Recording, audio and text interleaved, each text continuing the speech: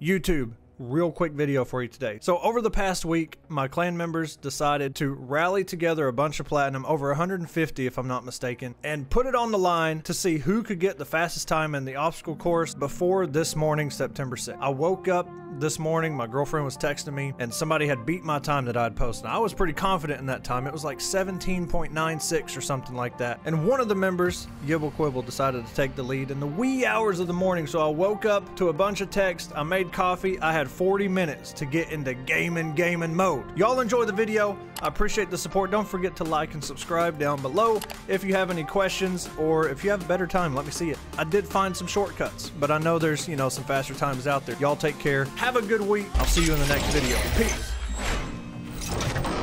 Peace.